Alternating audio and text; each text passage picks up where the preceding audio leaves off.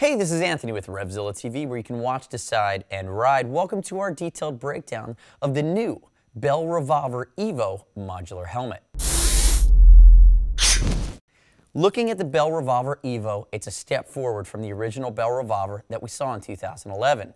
The feedback on the Bell Revolver was that it was very popular, it was a complete new market segment for Bell, and nobody had really done a really aggressive looking modular flip face helmet. When I say modular, I immediately mean the chin bar is going to go up. But what they found with their first iteration in 2011, that it was a bit noisy.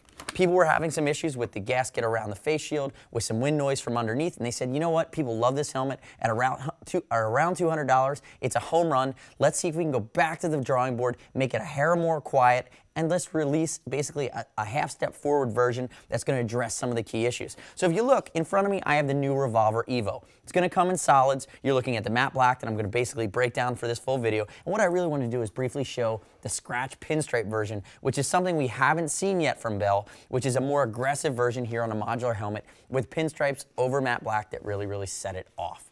Check that bad boy out. Move this guy over to the side. So we talked about the changes. The changes are going to be the new eyeport gasket. It's going to be more quiet. Other key change is going to be a chin curtain built into the bottom here that's going to keep cold air out. It's also going to add in the encompassing effect underneath and around the chin to keep air, air noise down.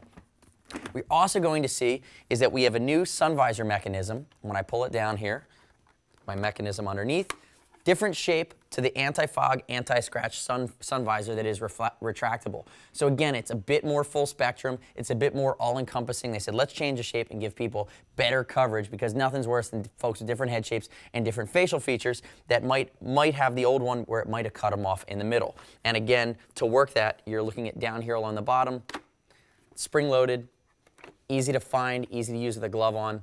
You notice it works that well. You're still having from Bell, you know, looking at this helmet, a lot of the features do carry over. So the first thing is you're going to notice it's the similar shield that we're going to see on the RS1 on the Vortex and the Star, so you can get that photochromic shield, which is awesome. Also, vent configuration from last year. You still have three intakes, two two-position chimneys up here on the top, so one position, two position on both sides. They're going to vent directly through the EPS to the head, and then you're going to have an open and close down here on the chin. As far as the modular mechanism, the button's going to be underneath. There's my button. It's going to come up. This is going to be a DOT helmet. It's very hard to do Snell or ECE on modulars. You typically don't see it happen. It's going to be a DOT helmet on a polycarbonate shell. And polycarbonate really is a basic, it's a strong fiber, but it's going to be basic. Again, remember, we're right around that $200 price point. If we look here on the side, you also have aluminum mechanisms for the locking mechanism here on the hinge. So when it comes down and locks into place, you get a nice solid seal. As far as the removal of the face shield, very, very easy. I'm going to spin it this way, do one side, do the other side. Very simple to put it back on. Bell has one of the most simple mechanisms in the industry, double snapping down and you're done. And this is the Nutrafog free system, so there is a coating that's going to be on this shield as well to keep it fog free. Moving to the back, let's talk about exhaust. We all know, if you watched our videos, that when you have a sphere, which is a helmet moving at high speed through the air, what happens is you get this area of vacuum behind the helmet as air comes over the curved surface, surface of the top. And you're going to have these big venturi vents that have cowls around them. You also have some winglet vents down here on the side. And what that's going to do is this area of low pressure actually pulls warm, moist air out of the helmet, out of the back, and it's going to, the air gets forced in through the front, circulates around your head, Hopefully keeps you cool, keeps you comfortable, pulls that sweat away, and that's going to get sucked out through the back. So let me pull my donut over here now, and let's start to break this guy down a little bit further. So we're to look at it from the bottom. Again, we talked about the new chin curtain. Might as well open it up. Other things they've incorporated here. As I'm starting to pull out the cheek pads, make sure that I'm undone here. Notice they're using the Magnefusion, which is making its way to almost all bells at this point. So the strap keeper stays in place via magnet. It's nice. It's not going to flap on you. Undo my double D-ring. And let's start to break down cheek pads. So cheek pads fully removable, neck roll. They've added the mesh here, and this mesh is going to allow you to have full access to a Bluetooth unit, and the speakers would actually sit in a recessed speaker pocket. If you can see in here as well, see it just right in there. You're going to see that recessed cutaway that's going to allow you to hide that pocket so it's not going to create any thickness that might press on your ear on longer rides. Fully removable, fully washable, wicking interior. There's my contoured cheek pads. They're going to sit against your face. And as I pull this guy down, you're going to see that we have a microfiber strap with that mesh material that's going to wick again along the chin strap. And now we can pull the comfort liner out. A few snaps in the back. And one of the things I like that they do is along the front here, you're going to see along the front, it's not snaps. It actually sits in this brow area. Pop it out here. And what you do by having this is still this 3D liner. It's going to be foam with cutaways, so you're going to get that venting from the top of the EPS.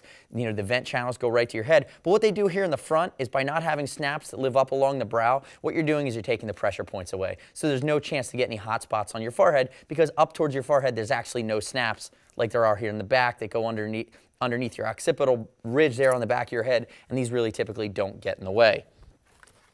Now, if we look here, into the EPS, you're going to see big vent channels towards the forehead. As I rotate back, you see those channels that go out the venturi area or the back of the helmet. Again, you're getting a lot of bang for the buck out of a modular, more aggressively styled really just around that, just over that $200 price point helmet. It comes in high vis, comes in a rally graphic, which Bell has done really well for a while. It's going to come in the scratch graphic, which we talked about earlier. And then you have matte black, gloss black, silver, as well as white. Again, there's no, there's no secret why this is one of the staple helmets for 2011 at Revzilla. And it's nice to see Bell taking on what they did, making some slight improvements, and rolling out a completely redesigned helmet for 2012. Remember, we want to hear what you think about the Bell Revolver Evo. So if you're seeing it for the first time or you're currently riding in it, leave us your feedback on the product page, on our YouTube page. Love it, hate it, like it, dislike it. We want to hear from you. And if you have any questions, shoot us a line, see us at revzilla.com or 877-792-9455.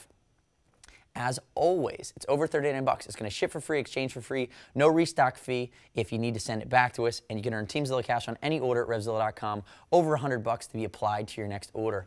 Thanks for watching our detailed breakdown of the Bell Revolver Evo helmet, which honestly I didn't really nitpick at. For the price point and the amount of functionality, I don't really have anything negative to say about this bad boy. Find it at revzilla.com slash bell. I'm Anthony. We'll see you next time.